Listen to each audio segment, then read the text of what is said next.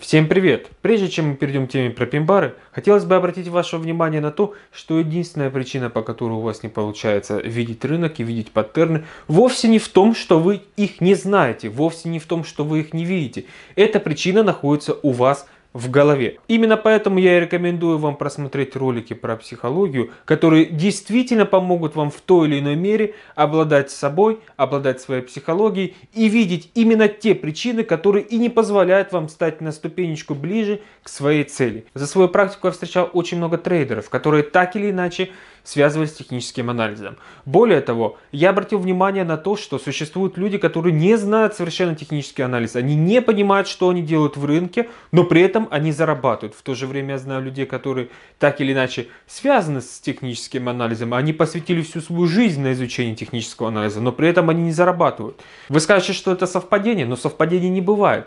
Единственная причина, по которому мастера технического анализа не зарабатывают или зарабатывают новички, которые ничего не понимают в техническом анализе, это причина в голове. Именно поэтому я рекомендую вам еще раз просмотреть ролики про психологию, в которых действительно даны те знания, которые помогут вам, безусловно, овладеть собой. Ну что ж, а, давайте перейдем к теме пин-бар. Итак, а, существуют различные методы нахождения пин-баров. На данный момент существует много споров, можно сказать даже в какой-то мере диспутов, в какой-то мере даже срачев по поводу того, какой же должен быть пин-бар. А, собственно говоря, единой точки мнения нету, потому что Сколько трейдеров, столько и мнений. Но здесь можно сойтись э, к небольшой классике. Давайте я вам в этом ролике расскажу, что такое пин-бар в классическом понимании. А в следующих вы будете уже смотреть, что такое на самом деле пин-бар, как его определять и как его торговать. Итак, а в классическом понимании пин-бар это у нас свеча, которая имеет большую тень и небольшое тело. А, я надеюсь, что поклонники великого ученого Гусева меня не будут травить. И все-таки мы сойдемся к мнению, что пин-бар медвежий в данном случае выглядит примерно следующим образом. Бычий пин-бар выглядит немного по-другому. Здесь примерно то же самое, только в отличие от медвежьего. Итак, а пин-бар это свеча, которая имеет небольшое тело и большую тень. При этом тень должна быть аномальная, то есть она не должна вписываться в обычные тени, в обычных свечей. А, было бы здорово, если бы вы, конечно, бы сделали какую-то статистику на протяжении месяца либо двух. Однако для этого вам потребуется очень много сил, времени и денег. А, тем не менее, вы должны посмотреть на ближайшие свечи. Вам необходимо в первую очередь посмотреть ближайшие несколько прошлых дней и определить, какая тень большая, какая тень небольшая. Это нужно для того, чтобы нам отсеивать ложные входы. Дело в том, что очень часто бывает такая картина, когда у нас происходит вот такое тело свечи. Да, оно небольшое, но при этом происходит небольшая тень. Можно ли это назвать пин-баром? В определенных условиях можно. Но тем не менее, если мы посмотрим ближайшие дни, а там аномальные тени будут иметь а, вот такой вот размер, то, разумеется, данная свеча не может называться пин-баром, потому что у пин-бара всегда аномальная большая тень. Существует мнение в классическом теханализе, что пин-бар должен обладать тенью в 2-3 раза больше, нежели само тело свечи.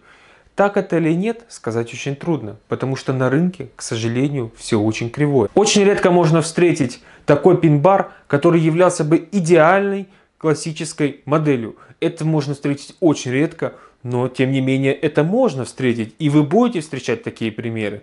Как поступать вам, как отсеивать сигналы, решать, безусловно, только вам. Отмечу я только тот момент, что чем вы моложе в трейдинге, чем у вас меньше опыта, тем больше вы должны акцентировать свое внимание именно на классических примерах. Классический пример, я напомню, это у нас тень в 2-3 раза больше тела свечи. Ну, если мы смотрим, вот у нас тело, раз, два, 3. Как раз вот этот и есть пин-бар.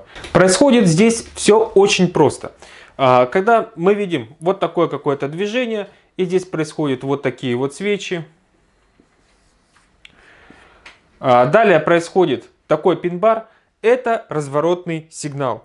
А, дело в том, что очень много людей э, любят искать везде развороты. Делать это категорически нельзя. Нужно понимать, где разворот можно брать, а где разворот брать нельзя. Потому что и там, и там очень часто возникает на конце разворота пин-бар, который вам намекает, да, заходи, да, заходи, рынок готов, рынок как бы вам говорит, я готов, заходи, заходи в позицию. Но при этом вы должны четко понимать, куда вы заходите. Именно поэтому мы всегда смотрим вышестоящий таймфрейм. Как вы помните из темы игроалеведения, мы используем несколько графиков. То есть мы используем, допустим, 5 минутку и 30 минут. Вы можете использовать три графика. Как действовать вам, решать, безусловно, только вам. А, используя несколько графиков, вы всегда видите, что на нижнестоящем таймфрейме у вас образовался пин-бар. И вы входите по направлению вышестоящего таймфрейма. Только в таком случае. Потому что это сигнальная модель, которая показывает нам, что в данном случае верхние цены отвергнуты. Рынок не может идти вверх. В рынке очень много предложения, и рынок и с ним явно, очевидно, не справляется. Нету такого количества спроса, который бы смог поглотить рынок, и поэтому рынок идет вниз. То же самое происходит с бычьим пимбаром. В рынке очень много спроса. В рынке настолько много спроса, что рынок не может его удовлетворить. Этот спрос моментально повышает цену актива, из-за чего происходит отвержение нижних цен и рынок идет далее. Существует два критерия, по которому мы и определяем, брать этот сигнал или не брать. Как брать эти сигналы будет в следующих видео. Но сейчас вам главное понять следующие вещи. Во-первых, любое движение цены, как вы все, наверное, знаете, и вы знаете мое понимание рынка, вы знаете, как я смотрю на рынок, любое движение цены это битва между быками и медведями. Исходя из этого, пин-бар является результатом данной битвы. Пин-бар указывает на то, что в данном случае, если мы рассматриваем медвежий пин-бар, медведи победили. Медведи победили, быки отступают. В рынке очень мало быков, они не могут давить дальше рынок, у них нету сил. Предложение захватило рынок. Предложений настолько много, что рынок не может идти наверх. Дальше он будет падать до тех пор, пока он не найдет спрос глобальный либо локальный. Этот спрос, который появится, может тоже образовать пин-бар. В таком случае быки победили. Мы видим, что победили быки. Итак, чтобы проиллюстрировать данную картину, я вам нарисую следующее. Много людей играют а, в различные игры. Очень много людей играют в стратегические игры. Так, например, я ранее, э, ну, можно сказать, в каком-то мере в детстве играл в игру под названием Rise of Nations. Там карта, э, военная карта, была расчерчена на определенные сектора. Здесь находится, например, вы, здесь находится ваш противник. Давайте я как-нибудь еще вот так расчерчу, чтобы вам было точно понятно. А в таком случае, когда нападаете вы, давайте я Возьму несколько маркеров. Когда нападаете вы, вы захватываете определенный сектор. Этот сектор теперь становится ваш. Вы захватываете второй сектор. То же самое происходит и с вашим противником. Он нападает, он захватывает определенные сектора. После этого, когда вы встречаетесь, происходит битва. Битва между вами и противником. Битва между быками и медведями. И здесь происходит настолько мощная битва, что один и тот же сектор он вначале приходит к одному противнику, потом к другому противнику. После этого опять к другому противнику. И происходит такая болтанка. То же самое происходит в рынке. В рынке мы имеем определенные сектора, которые размечены. Сектора в данном случае это определенные области, это определенные цены. И допустим здесь у нас 10-10, здесь у нас 10-20. Здесь у нас 10.30 и так далее. Теперь посмотрите, что происходит. Свеча открывается на уровне 10.10. Быки начинают лидировать. Быки начинают давить рынок вверх, и рынок начинает идти вверх. Он идет вверх. Я в данном случае рисую свечу. После этого рынок выстреливает резко вверх. Но здесь находятся крупные медведи, которые не пускают рынок наверх. Они подставляют свои лимитные ордера, и рынок начинает тормозиться. Рынок начинает валиться от огромного количества спроса, которое зашло. И рынок падает. Рынок падает до тех пор, пока он не находит уровень определенного предложения. Он падает и уходит вниз. И здесь происходит решающий момент. Можно сказать, в какой-то мере бьет колокол, и свеча начинает закрываться. Свеча закрылась, шартовый. И в данном случае мы говорим, что за эти 5 минут победили медведи. Таким образом, пин-бар является результатом битвы между быками и медведями. Это результат этой битвы. Результат битвы быков и медведей нас в рынке особо не интересует. Нас интересует более другое. Нас интересует, кто побеждает на уровне в текущий момент. Ведь именно на уровне мы заходим. И именно на уровне нам нужно следить, чтобы появлялись подобного рода сигналы. В таком случае мы можем сказать, что да, на этом уровне победили медведи, значит рынок дальше будет идти вниз, потому что количество ликвидности, которое появилось в рынке, количество предложений, которое появилось в рынке, должно найти удовлетворение. Рынок должен прийти вновь к балансу. И когда он найдет этот баланс, не знает никто. Мы можем, конечно, предположить, что на каком-то уровне появится спрос в рынке, но мы не знаем на самом деле, случится ли так на самом деле. Поэтому мы заходим в рынок, поэтому мы начинаем шортить, но только на уровнях. Поэтому важный момент. Нам, мы отслеживаем данные сигналы на уровне. Уровень. Если происходит какое-то движение рынка, например, рынок идет вверх, мы не видим эту часть графика. При этом здесь появляются какие-то сигналы с явным отвержением верхних цен. Но уровня никакого нету. Мы не можем сказать, что это результат битвы. Это в какой-то мере, можно так сказать, результат битвы на более ниже стоящих таймфреймах, либо непонятно, что это. Мы не можем сказать, что это на самом деле, потому что, может быть, это какой-то крупный игрок зашел в рынок. Может быть, отступила какую-то группу людей, которые играют на более нижестоящем таймфрейме. Мы не знаем. Поэтому мы должны искать уровень. А если сигнал у нас появился, например, например, у нас уровень проходит вот здесь, и вот тут у нас появляется сигнал, в таком случае при подтверждении сигнала, о чем будет сказано в следующих роликах, мы заходим в рынок. В таком случае мы заходим в рынок, потому что это явный признак, что рынок будет идти далее вниз. При этом помните, мы всегда играем в сторону вышестоящего таймфрейма. Мы играем всегда по тренду. Исходя из этого, если у нас здесь лонг и мы заходим в шорт, на вышестоящем таймфрейме будет вот такая картина. То есть мы заходим где-то вот здесь. Следующий важный ключевой момент – это динамика цены большинство игроков не смотрят за динамикой, они не обращают внимания на рыночный фон.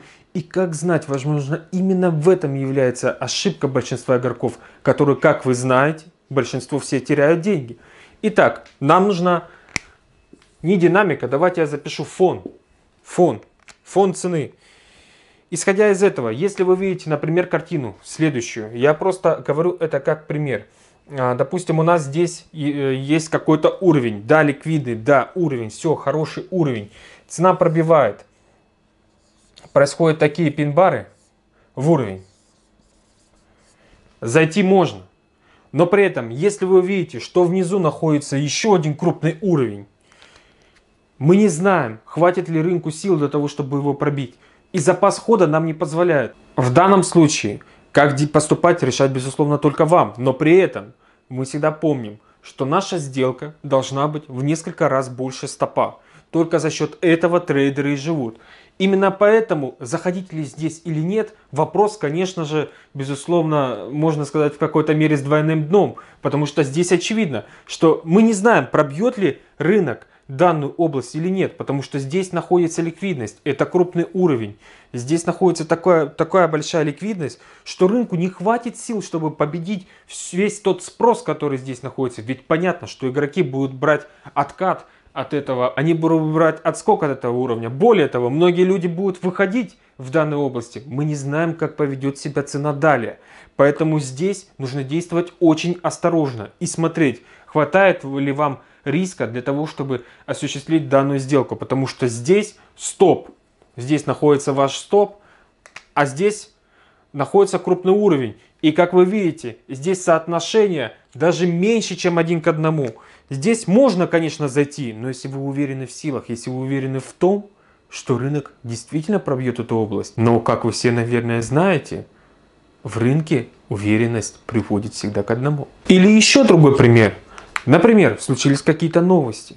Может быть, случилось какое-то событие. Может быть, рынок открылся с гэпом. Может быть, произошло вот такое движение, огромное, посмотрите, какое огромное движение происходит. Происходит огромное движение, и здесь появляются бычьи пин-бары. Как бы говорят вам, заходи в рынок, заходи, я сейчас буду расти, заходи. При этом ни уровня, ничего такого конкретного здесь не находится. Вопрос, будете ли вы здесь заходить? Я знаю ваш ответ, конечно же будете. Но и в этом ключевая ошибка. Дело в том, что мы не знаем, что послужило вот этому огромному движению. Были ли это новости? Были ли это какие-то глобальные события? Может быть это был какой-то гэп? а может быть отступила кого-то. Вы можете зайти в рынок только тогда, когда вы будете знать, что это происходит, что происходит сейчас на рынке. Только в таком случае вы можете сказать, да, это бычьи пин-бары, указывающие на то, что мне сейчас нужно заходить в рынок, потому что сейчас отступило игроков, и мне нужно заходить, потому что рынок будет разворачиваться из-за того, что все люди будут заходить дальше рыночными ордерами, будут дальше по привычке шортить и так далее. Понятное дело, что у любого импульса будет откат. И мы не знаем, к сожалению, дойдет ли рынок до такой области, а, где величина нашей прибыли будет в несколько раз больше нашего стопа. Мы должны понимать и знать рынок и все то, что происходит на рынке, только для того, чтобы знать, что происходит в рынке и чтобы мы знали, когда закончится откат и из-за чего он связан. Мы можем, конечно, зайти здесь, и цена действительно дойдет до наших областей. Но при этом мы не знаем, когда она развернется. Потому что очень часто бывают даже вот такие картины. Очень часто бывает наоборот. И это все нужно учитывать, это все нужно понимать. Бывает небольшой откат, и потом опять еще очередное резкое падение. Более того, а если мы смотрим более низ, ниже стоящий таймфрейм, дело в том, что на более низком таймфрейме из-за исполнения ордеров, так называемого рыночного шума, а, происходит очень частое появление различных пин-баров. Очень часто происходит на более нижнем стоящем таймфрейме. Именно поэтому рекомендую вам использовать как минимум пятиминутку, для того, чтобы не совершать ложных входов, для того, чтобы не заходить в такие позиции, которые бы кто-то назвал рыночным шумом. Итак, давайте же все-таки посмотрим, как выглядят эти пимбары. А, значит, я тут уже наметил места. А, сейчас вам все покажу. Значит, смотрите, вот у нас пин-бар. Вот он.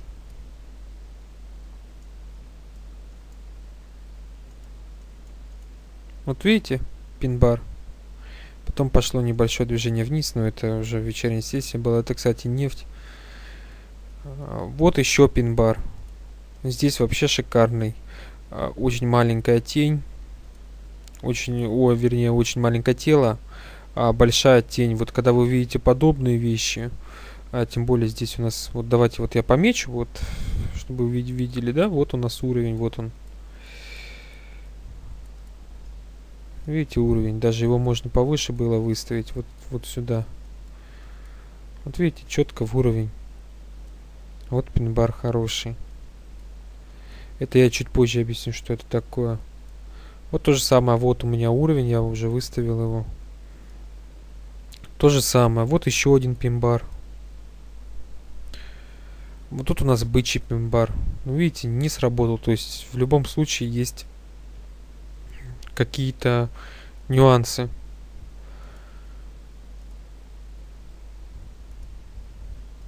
Вот это можно назвать относительно пимбаром. Тоже вот он. Видите, и тут уровень у нас, вот он, локальный. Видите, четко в уровень. Вот он у нас, медвежий пинбар. Давайте дальше посмотрим.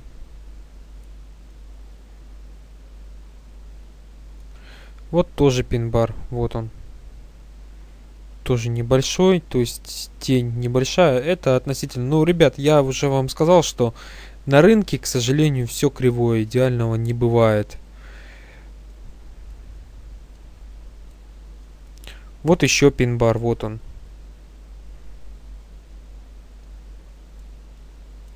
Вот пин-бар. Вот тоже пин-бар. Вот он. А далее, смотрите, вот, чтобы показать наглядно, я выделил, значит, места. Вот как происходит битва. Вот смотрите, видите? Вот это просто явный пример такой. А, вот у нас э, быки давят, потом они опять идут вниз, потом опять идут наверх. То есть одна сила постоянно сражается. То есть э, отвоевали одну территорию, ее потом опять захватили, потом опять отвоевали и так далее, и так далее. И мы следим, что будет происходить дальше. Какая будет реакция цены, что нам покажет рынок. Тут та же самая картина, вот битва. Вот здесь явно есть ликвидность, потому что цена пытается всю эту ликвидность поглотить, у нее ничего не получается, она отступает опять пытается поглотить, опять ничего не получается, опять отступает и опять идет движение, опять та же самая ситуация. И вот уже на следующий день, и то на следующий день мы ушли наверх, потом опять вниз убежали, и опять вот этот уровень, да, 49-54, даже 50 можно поставить, вот, ну, круглый, чтобы был. Явно здесь присутствует какая-то ликвидность, явно здесь присутствует чей-то интерес. Тут та же самая картина. И вот здесь примечательно то, что вот тут пин-бар, да, но он тоже у нас не оправдался. То есть э, бывают ложные входы, да, действительно. Но если учитывать общую динамику, как я вам говорил, а, то тут бы не, не было никакого входа, потому что мы видим, что вот у нас экстремум повышается. Соответственно, здесь никаких разговоров о покупках, конечно, если вы рисково агрессивно торгуете, то да, здесь можно, нужно было даже заходить на шорт, но если мы говорим о каком-то более-менее консервативной торговле, то здесь входа на шорт не было, потому что тренд у нас очевидно, что лонговый вот на вот этом участке рынка. И, соответственно, никаких входов здесь нет. Точно так же, как и здесь. Тем не менее, он все равно оправдывается, да?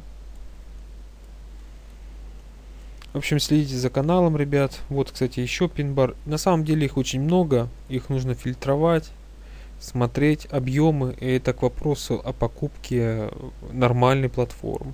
Лучший способ поблагодарить автора – это написать совершенно любой комментарий и оценить данное видео. Делитесь данным видео со своими друзьями в социальных сетях. Пишите вопросы, которые вас интересуют. Всем удачи, пока, зарабатывайте!